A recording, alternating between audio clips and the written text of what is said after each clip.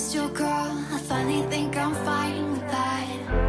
I know it hurts when love bites back, but it's your fault. I wish you'd just accept that. And I got a better place to be when the only.